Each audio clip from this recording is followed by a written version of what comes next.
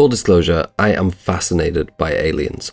I think their existence somewhere out there among the cosmos is a certainty. The possibility of some of them having visited us is, in my opinion, likely, but by no means proven. Beyond the real possibilities, though, I'm just fascinated by aliens in general. Different imaginings of how they would manifest, how we might encounter and interact with them. Stories in general about aliens, I think, serve as a mirror that tell us a lot about ourselves. One of my favourite and certainly one of the most surreal real world examples of this comes from a 16th century woodcut, an early form of newspaper, essentially, describing something that is now known as the celestial phenomenon over Nuremberg. The image is entirely insane, and the accompanying text doesn't exactly rationalize it, discussing a great battle in the sky and making substantial claims like the wreckage having fallen upon the earth and there having been a great many witnesses. It's had differing interpretations over the years. Carl Jung suggested that depending on the viewer's disposition, they may see it in different ways. A natural interpretation may suggest a swarm of insects, a religious interpretation, some kind of divine or spiritual messaging, a military interpretation, some kind of great battle between machines in the sky. And I completely agree with Jung's principles here. When I look at it, my Rorschach reaction is battle in the sky. There's an enormous Christian slant to how it's written and how it's being reported, and this makes sense given what we know about the strained political situation in the city at the time. The show Ancient Aliens likened it to scenes of celestial beings fighting in the sky from the sacred texts of Hinduism, but skeptics have rightfully done what they can to put this into some sort of understandable context, with theories ranging from it being a hoax to sell more press to the more commonly accepted theory that it was an overly dramatic description of a natural phenomenon commonly referred to as a sundog. We're going to look at the issues with that criticism, but for now, assuming we have no idea what it really is, I thought it would be a good idea to dig deep and see if there was anything else the document itself had to tell us. Because another big problem with this depiction is that it's showing you a whole timeline of events all at once. In fact, one thing we can say for certain is that there was no point in time where the sky looked exactly as depicted here because this shows the same objects in multiple positions. In an effort to get a better view on what's actually going on here, I gave the whole thing a quick boop in After Effects and did my best at animating the different elements of the image according to analysis of the text to see if we could get a clearer picture of what was actually happening and see if it could help us come to a conclusion as to if this was some grand battle in the sky or a recognizable natural phenomenon. And while obviously this kind of forensic animation is extremely limited in what it can show us, I'm sure you'll agree that what I came up with is at the very least a clearer representation of what the document was trying to show. Rather than waffle on or make you wait until the end, I'm just going to roll the video credits and then we'll go straight into it while I read the original article over the top.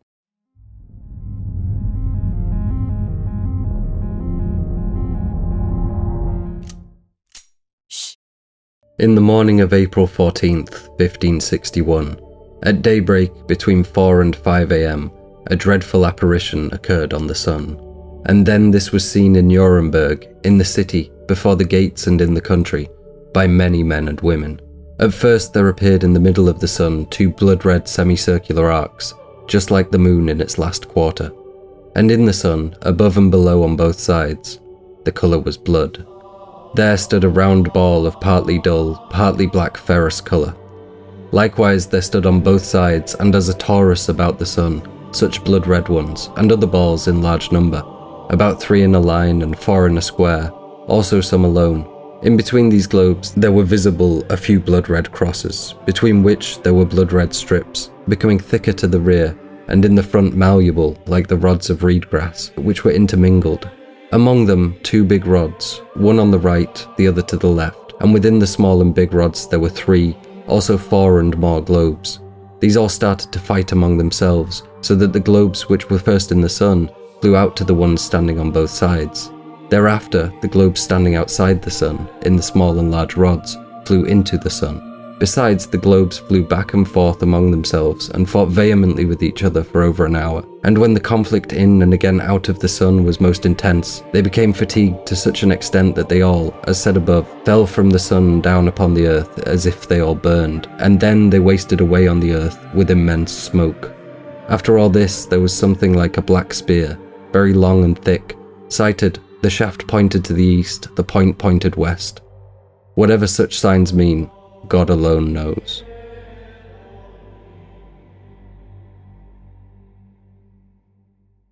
Hopefully now the timeline is clearer and we can have a longer discussion about the incident, some things that I came to understand while creating this, and some pretty major issues with the theories supposedly debunking this. Because despite the consensus being that this is either a fraud or a solar event, when you actually go look at the information corroborating that, it's extremely thin on the ground. There's no Snopes article for it. The Wikipedia article has two or three links to people supposedly debunking it. The main one, Nuremberg UFO Battle Debunked by Fred Johnson, is so old it's accessible only through archived links of a website that used to exist called ancientaliensdebunked.com. It's got a fair few spelling errors and a lot of questionable examples used as supposed proof, as well as using an outdated version of the translation. The main claim made by Johnson's article is that this woodcut was simply an over the top report of a pretty standard atmospheric phenomenon, sensationalized by its creator Hans Glaser to better sell news publications to a religiously devout public. Critics have tried to paint Glaser as a sensationalist making up wild stories for 16th century clickbait. They point to his reports and illustrations about the skies raining blood or the mysterious appearance of bearded grapes. However, both of these seemingly odd tales are actually true. It's now scientifically documented that grapes can grow beard-like mold caused by wet conditions near harvest time. Blood rain is also well documented throughout history. Water droplets can sometimes appear blood red due to the presence of dust particles or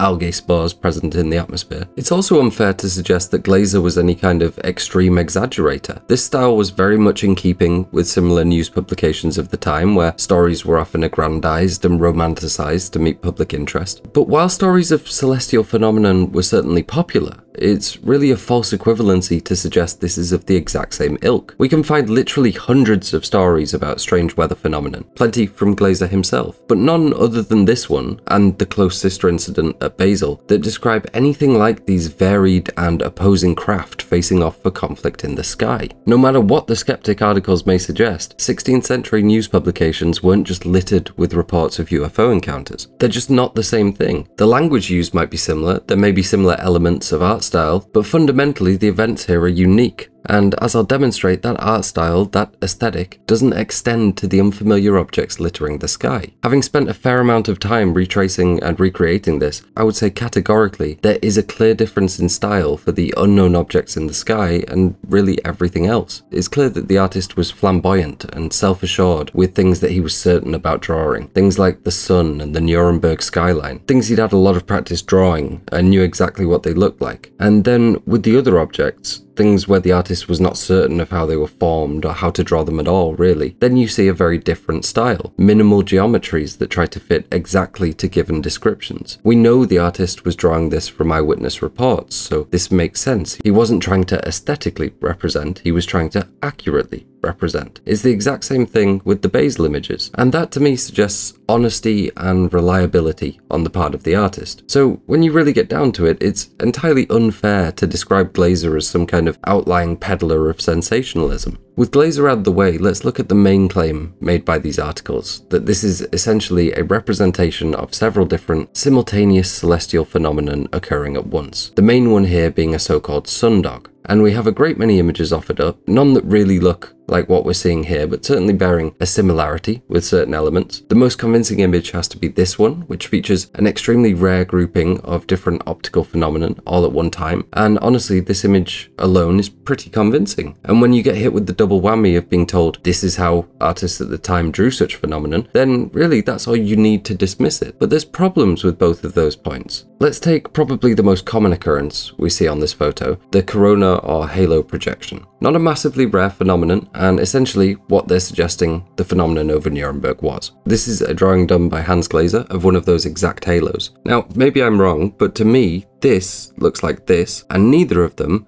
look like this. This looks like something very different. The depictions of the events at Basel look very different. That this is being used as evidence that the Nuremberg image is just a drawing of a halo with a few parhelions around it is baffling. It's evidence of the opposite. We can see exactly how the artist depicts things like that. It looks like this, and nothing like this. Yet skeptics are certain that this is evidential that the Nuremberg carving is a depiction of one of these optical phenomena. I think it's pretty clear that whatever it's depicting, it's something different, something more busy and cluttered with objects. I would believe a meteor shower long before I believed this was a depiction of a sun halo, because again, we know exactly how Glaser draws that. We know how he draws lots of different stellar events. He did it a lot, and this is absolutely something different. I think the initial red arcs, the red blazing ring around the sun, and maybe the first red circles that appear, that to me could well be natural phenomenon, and looks very much in line with Glaser's drawings of such phenomenon, but everything else looks like something very different. The other main issue with the skeptic's argument is that in making the leap to it being optical phenomenon, they're ignoring a large part of the testimony. This was a physical phenomenon. Objects are described as having malleability and other physical traits. They burn and let out immense smoke and come to rest like wreckage on the earth.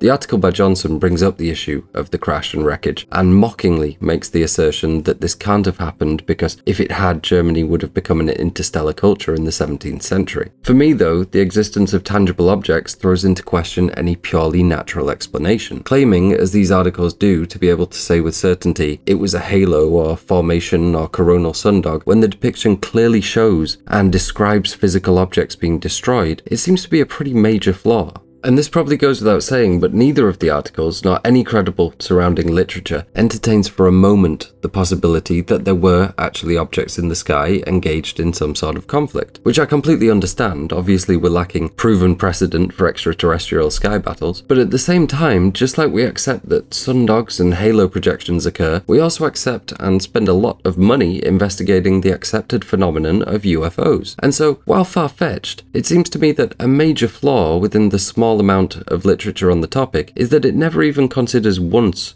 taking the article at its word and exploring that possibility. There's a really salient point from the secondary article that I should also address, namely that the area was some kind of hub for these sort of news events. As I've said, it's certainly true that celestial phenomena were overpopularized in news publications at the time, but this is a false equivalency to draw with the Nuremberg woodcut, because this kind of extremely odd depiction was not normalized in any way. There aren't other woodcuts you can point to that look like this, other than the one at Basel, which, as I've mentioned, is kind of a sister incident. They're close on the timeline and close geographically, and the events are very similar to those at Nuremberg. But the articles then roll these up into proof of some sort of wave of hysteria regarding UFO battles, where such stories had become oversaturated and commonplace. But that simply isn't true. Stories of natural celestial phenomenon may have been common, but these incidents at Nuremberg and Basel stand extremely isolated.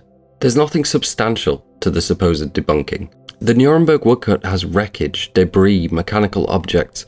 It's not similar to any of the examples provided by academics or debunkers because really there isn't anything similar to this. So when you remove these explanations, or at least massively cast doubt on them, really what we're left with is either the notion that this must be a hoax for news sales or to heighten religious fervour at a time that was crucial to the political situation of the city, or it was something else entirely, and something truly out of this world occurred. But I certainly don't buy into the notion that this is simply depicting a natural celestial phenomenon, because the evidence just doesn't match up. Lastly, as a fun little experiment, go check out the bottom right of the image. There's two men stood in the fields, looking at the wreckage in terror with their arms up aghast. A woman slightly behind them, again looking at the wreckage in terror, again arms up aghast. And then a fourth figure, who I want you to go look very closely at. I thought it was an old washerwoman at first, but there isn't any sign of her physical femininity like we see with the other woman. And what I thought was at first a bonnet actually appears just to be an irregularly shaped grey head. Not only that, but the figure appears to be holding a strange object, which I think is actually meant to be a small plume of smoke. If you look over the chimneys, you'll see similar shapes to it. Their other hand is stretched ahead, and when you view this in situ, it actually looks a lot like the odd grey headed figure is chasing the woman. So go check that out and let me know what you think down below. I'll see you soon, guys. Peace.